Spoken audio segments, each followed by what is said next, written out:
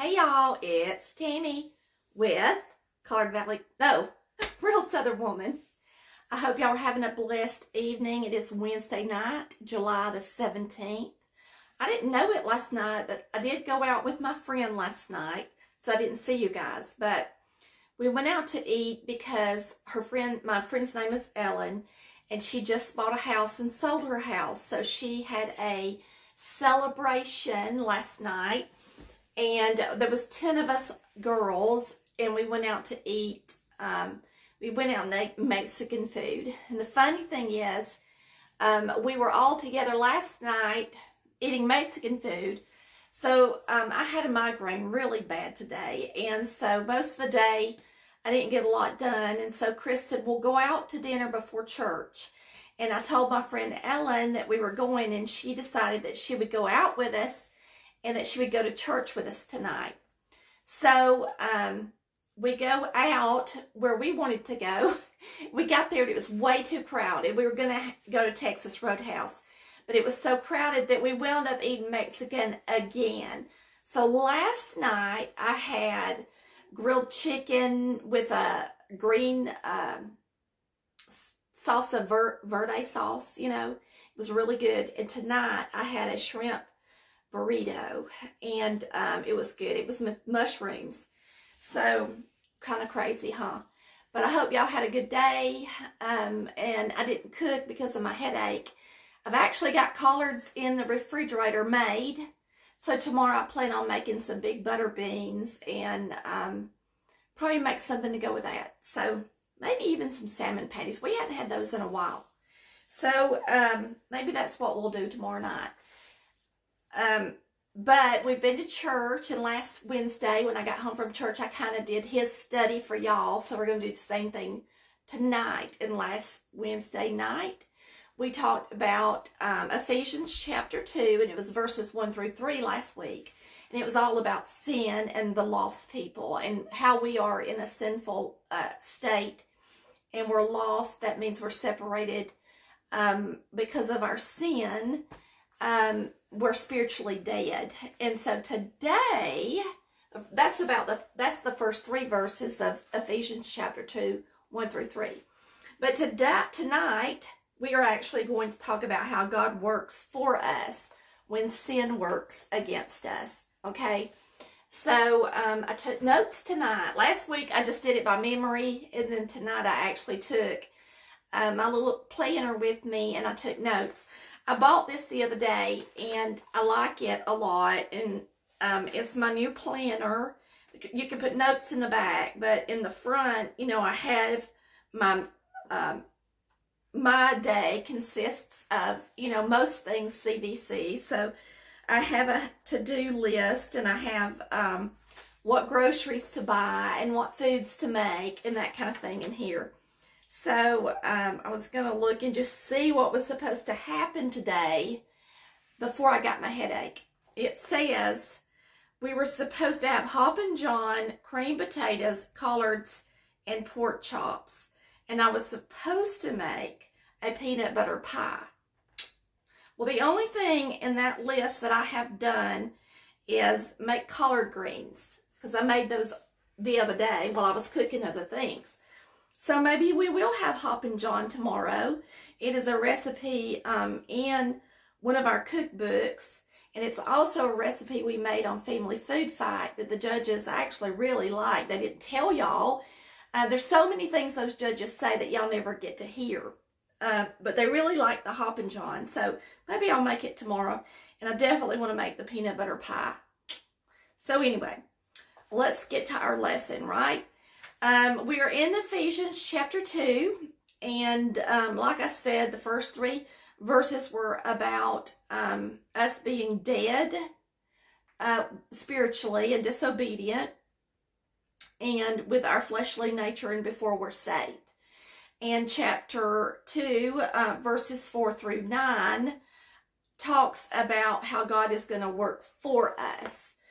And we don't have to stay there, okay? So I'm going to pick up my Bible and flip to Ephesians 2, 4 through 9. And I just, I just found it really quick. What about that? It says, But God, who is rich in mercy because of his great love with which he loved us, even when we were dead in trespasses, made us alive together with Christ.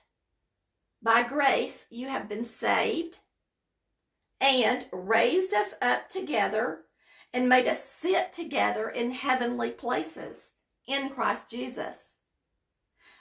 That in the ages to come he might show the exceeding riches of his grace and his kindness toward us in Christ Jesus. For grace you have been saved through faith, and that not of yourselves. It is a gift of God, not of works, lest anyone should boast. For we are his workmanship, created in Christ Jesus for good works, which God prepared beforehand that we should walk in them. So tonight we're going to talk about these verses and explain some of it to you so that um, you can get a better understanding of what he's saying to us here. And so, um, and like I said, I'm going by my pastor's outline. Um, we go to Tabernacle Baptist Church, which is in Hiram, Georgia, and the pastor's name is Derek Barry. Um, and he's about 35 years old. He's a very uh, high spirited young man, got lots of energy, and he talks really fast.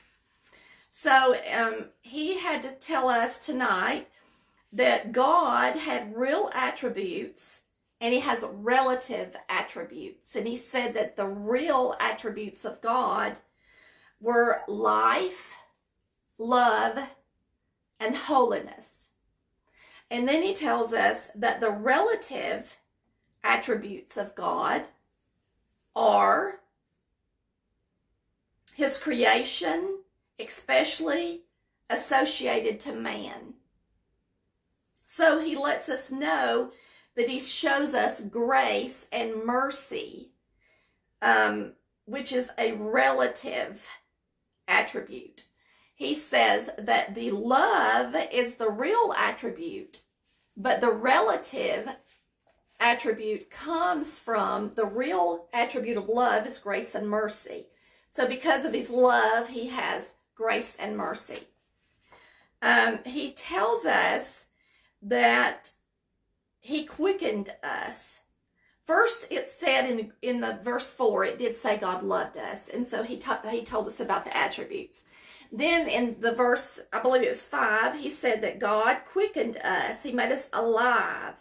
He said he accomplished this by the power of the Spirit using his word. And then he told us of several instances in the Bible where Jesus spoke and people were raised. And he gives us uh, the widow's son in Luke chapter 7, um, and Lazarus in John 11. And he said that Jesus spoke and they just came alive. And so he was trying to let us know that the word is alive and um, that God quickens us with his word. Okay. So, um, we may go back and read one of those uh, points, but if you want to just write it down, you could go back and read it tonight or tomorrow. And it's Luke 7 and John 11. Um, and he said also in Luke chapter 8, he also raises someone else. I didn't, I didn't write that one down. Um, but if you want to read about that too, you can. Um, he also says that in Hebrews chapter 4, verse 12, the word of God is quick and powerful. And he tells us the word quick there means living. So he just wants us to know that this word of God, which is Jesus Christ, and the word is all about Jesus Christ, is alive. Okay? And it quickens us. And um, let's see, he's got John 5, verse 24. And I'm going to look that one up. John 5, verse 24. Let's look it up. Y'all turn over there with me. John, Matthew, Mark, Luke, John in the New Testament. And it's um, 5, verse 24. And this one says that we're still talking about how the word quickens us. And most assuredly, I say to you, he who hears my word and believes in him who sent me has everlasting life and shall not come unto judgment, but has passed from death to life. So that's a very encouraging verse, isn't it? So he tells us that we have passed from death to life if we hear his word and we believe it. Okay? Now, he also, let's see what he's got. Now, the third point, so we've got point A, God loves us, out of verse 4. We got point B, which is verse 5, where it says he quickens us through his word. And then you've got point, uh, which is point C, and it says verse 6, God exalts us. Now, this one's really pretty cool. Well, it's really cool, really. And um, and this is where he said that he um, raises us to heavenly places. So we are actually, even if we are here in the flesh on this earth, we are already with him in heavenly places spiritually. That is a huge thing, y'all. It's like a miracle, really. And it's true. If you're saved, then your spirit is already in heavenly places. Okay? Um, see. Then he tells us to look at John 12, verses 1 and 2. So let's look at that.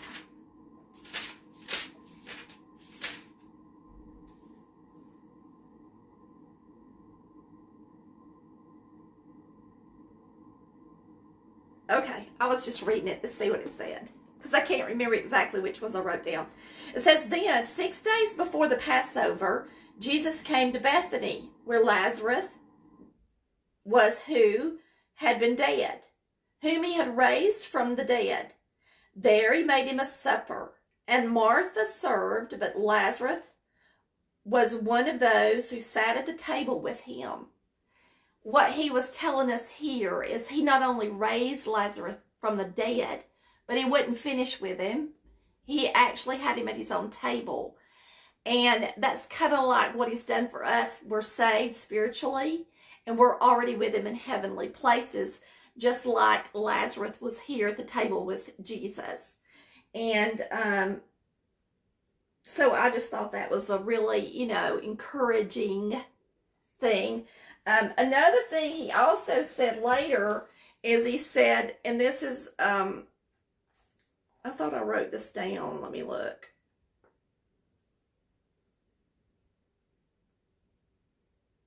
I must not have. Anyway, when he said, uh, he also said that when he raised Lazarus, one of the things he told him was, arise and, uh, and go. So he didn't just raise Lazarus from the dead for him to not do anything. He rose in from the dead and told him to arise and go. And he does the same thing with us um, when he saves us, even if we are spiritually um, in heavenly places, he doesn't just do it so that we can just say, oh, you know, I've been saved from hell, and that's all there is to it. He also plans to do a work in us and through us. So God shows up and he um, loves us and he works for us and he's provided this way for us to be saved. Not only that, but then he wants to work in us. And so then he tried to explain to us what that meant. And he said, you know, like if you've got somebody that's working for you, maybe they cut your grass, then you're, you know, it's a good thing. They've done some work for you and they feel good about they've got to do their work and you're better off because your work is done. And then he said that Jesus does say, and, and y'all know this, that when he's getting ready um, to pass on the cross, before he gets there, he prays and he tells his father that his work is done and finished. So he, um, so it's quite obvious that Jesus came here to do some work for his father. And um, that that is something that we should um, also want to do. It says that the point in verses 7 and 9 is that he keeps us.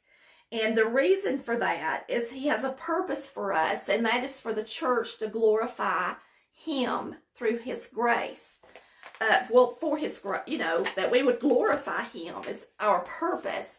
If we didn't have a purpose and he didn't have any intention for us to be here, then we would be with him in heaven. And a lot of us know people who are already gone um, and we wonder, you know, maybe why they got, you know, why did God choose them when He did? And that's and that's God's choice.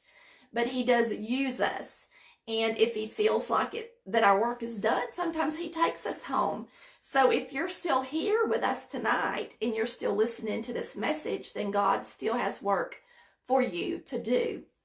Um, let's see he says that workmanship in this verse 10 means something is made or manufactured.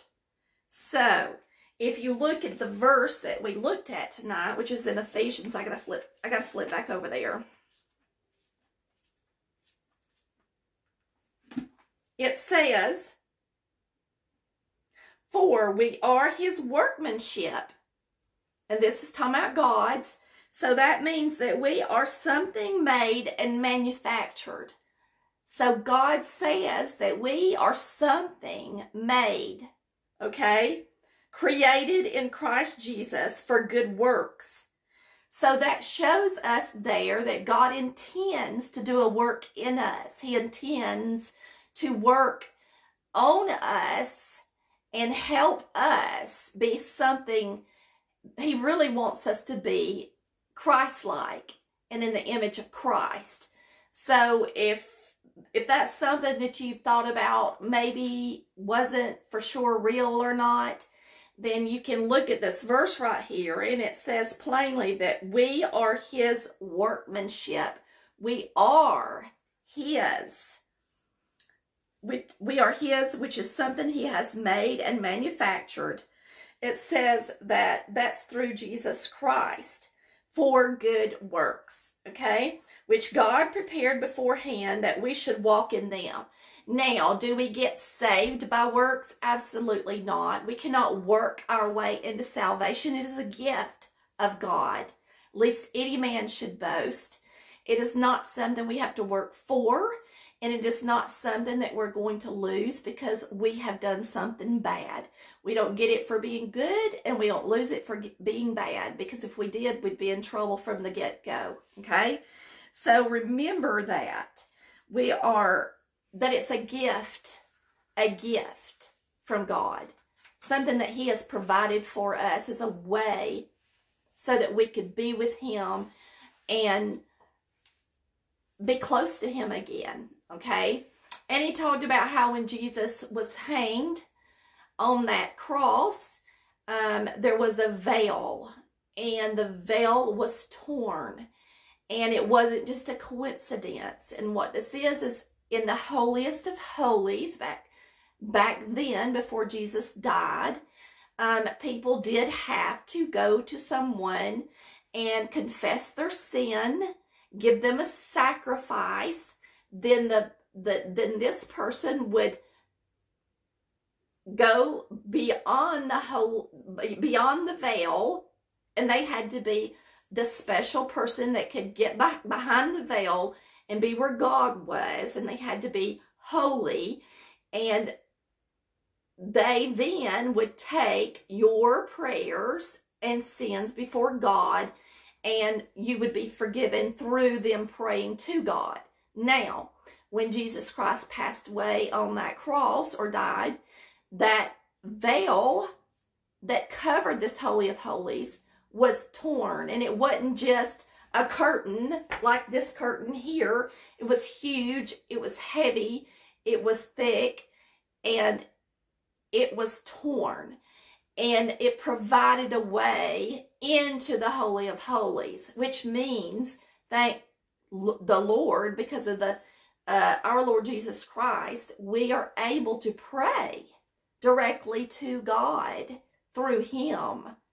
We no longer have to sacrifice because He did the work. The work is finished, it's done. We don't have to do anything for it, but accept it as a gift. But God does want to work in us and through us, okay? So that was uh, kind of what we talked about tonight. Um, it says that salvation is our beginning and not our end. That when we're sa- saved, that we should not just think, oh, we're saved and we're going to get to heaven and that's all there is to it. Because we should know, those of you who are listening, that God wants to do a work in us, okay, and through us. And in order to do that, we have to be able to first read His Word so that He can talk to us, okay? And um, it says that Christ is equipping us for our walk and our work. And um, he actually does this through work of God, the word of God, I'm sorry, prayer and suffering. He said he didn't just leave us in the graveyard when he saved us, y'all. He just didn't, since we were dead spiritually, you know, he saved us, but now he's going to do a work in us. And he said there was three ways he does that. And these are scripture passages. If you want to write them down, you can read about them. He's going to do it through the word of God. And you can see this in First Thessalonians chapter 2, verse 13. And you can rewind that if you need to write it back down. Then he's going to um, use prayer, which is in Ephesians chapter 3, verses 20 and 21. He's going to do it through our suffering which is First Peter chapter 4, verse 12. Now let me tell you why these three things happen. And you know, as when I say this, it's you're going to relate to it. And that is because we're in our flesh, because we're not perfect, because we're not always spiritually where we should be, or even if we think we are, you know, there's just times that we don't get in the Word of God and we're not feeding us, we're not letting God talk to us. So it's hard for Him to get into us in order to work through us. So what He does, we do that. Excuse me. So what He does, and it doesn't always happen, but it does happen a lot, is we suffer. And because we suffer, we pick up the Word of God we start searching for an answer. We start searching for a way to make us feel better or help us to figure out what we're going to do or can he, you know, can we get some kind of something from God? And that's how he knows that we're going to pick up that word and then he's going to be in us and then we're going to pray and then he can work through us. Okay. So it's kind of like a cycle. So if, if you're in the Word of God, I mean, it would be great if we could be in there every day, but a lot of us fail to be in that Word every day, and eventually we are going to suffer for it. So now, if we were in the Word every single day, does that mean we'll never suffer? I doubt that. But I can guarantee you one thing God wouldn't have to get our attention. Um, our God will get our attention if He needs to. So it's much better um, that if He catches you, uh, that you're not off guard. You know, like I'll give an example, and that is when I got cancer back in 2010. Um, I had been laid off of work in 2009 due to the recession. I had come home. I had cleaned the whole house. I was very much in the Word of God. I was reading, I was close to the Lord. It was probably one of the strongest times that I have ever been close to the Lord. I mean, it was crazy. And that's when I found out I had cancer. Sorry, I, I hit the phone. Anyway, So it was actually when I was at my closest to God, when I was diagnosed with cancer. Now, that was a blessing, y'all, because it was so much easier for me to have faith that everything was in His control and have the trust that I needed at the time so that I wouldn't suffer too much, especially around my little children. They were just in the, I believe they were in the third and fourth grade um, about that time, and they were little children and they didn't need to see their mother, you know, hurting and crying and thinking that everything was terrible. And I didn't, y'all. I really didn't. And so God, um, he he did get my attention. Of course, I got cancer, but it was actually at a very very time in my life that I was so close to Him that everything fell right into place. Everything seemed to be a blessing in the storm. Um, and here I am, nine years later, uh, beating all the statistics and all the odds for my type of cancer. And um, I thank him for it. And I thank him for the trials he put me through. Physically, I'm not where I would love to be. And yes, am I jealous when I see somebody running down the road or uh, doing things that I can't do? Sure, I kind of get that way. But then I remember, you know, this is how he wanted me, y'all, because he's in control.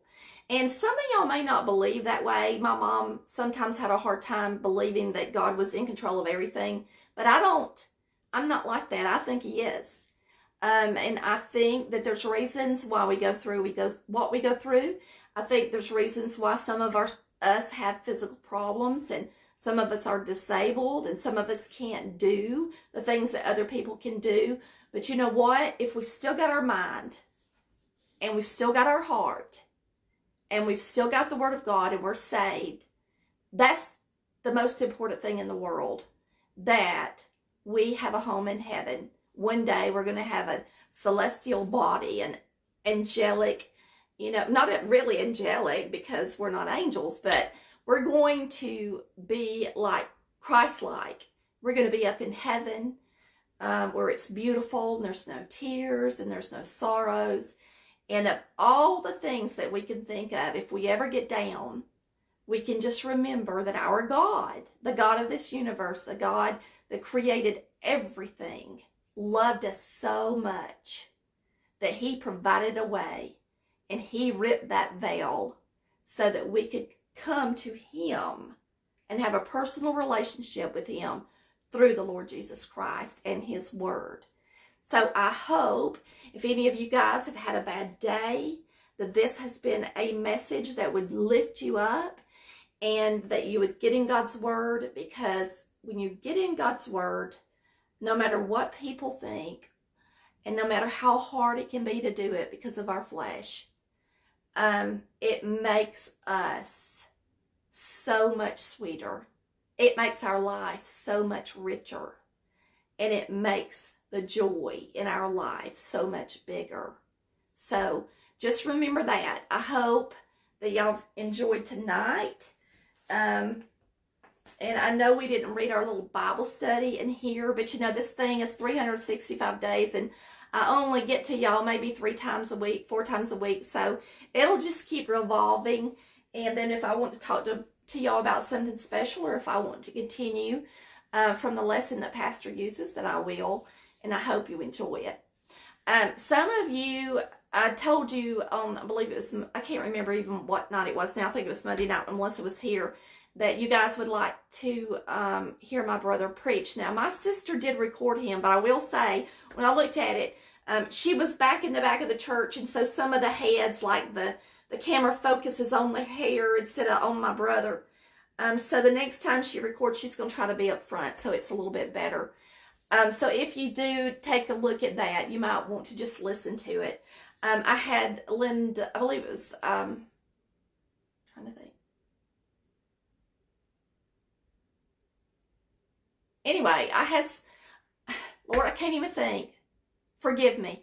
But um, I just sent somebody a link through Messenger of that of that. Some of y'all have gotten to know Eddie through the show, and he is such a sweetheart. If you are interested in hearing his um, message, then I can get that to you. Tomorrow night we will be having a another view party at my brother's house. He went and bought a TV for it because last week he was just projecting the TV up on a sheet. And we were getting a little bit nervous because we didn't know if it was going to be dark enough, but it wound up working really good. But anyway, we're going to have a popcorn party and we're going to pop different flavors of popcorn. And I think I want to make some popcorn balls. My mom used to make those at Halloween and I just loved them. And no, they're not good for the for the fillings in your teeth, but boy, are they delicious. So um, we're going to have a popcorn party tomorrow night and watch the show. We do good tomorrow night. I probably shouldn't tell you, but we do.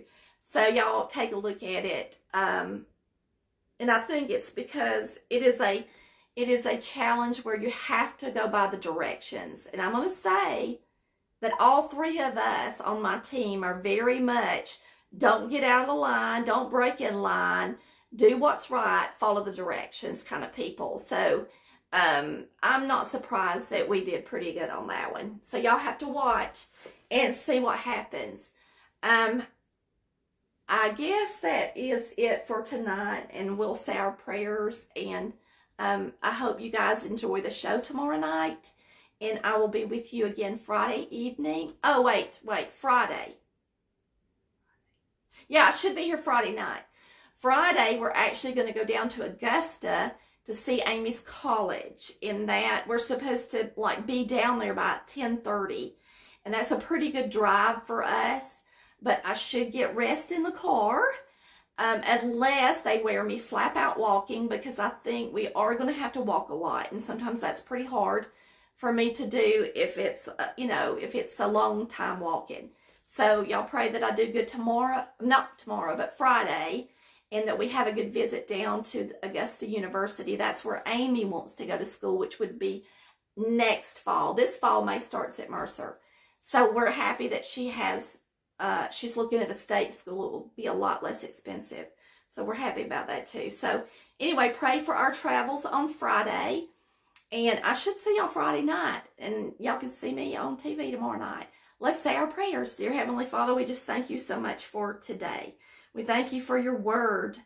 Um, for it's through your word that we gained faith. Um, and we have come to know you through your word, you have provided a way um, that we would hear the gospel of Jesus Christ, that it can be known throughout the world. And we are thankful for that. Um, be with us as we go through each day, that we would make time for your word and time in our life so that you can speak to us. Because we have learned tonight, Lord, that if we don't let you speak to us, then it's hard for you to work through us. And you have to be inside of us, not just through your Holy Spirit, but we need to feed ourselves through your word so that you can work through us and help us, Lord, now that we know that, to apply it to our lives. Um, thank you for everyone who takes the time out of their day to listen. And we just appreciate everything you do for us, everything you have done for us, and look forward to the day that we are not just spiritually in heavenly places, but we are physically in a heavenly place with you. In Christ's name we pray. Amen. I hope y'all have a good night. And now, I, I, I left my jewelry and stuff on from church, and so I get to go put my gown on. Yay! Love ya. Bye, y'all.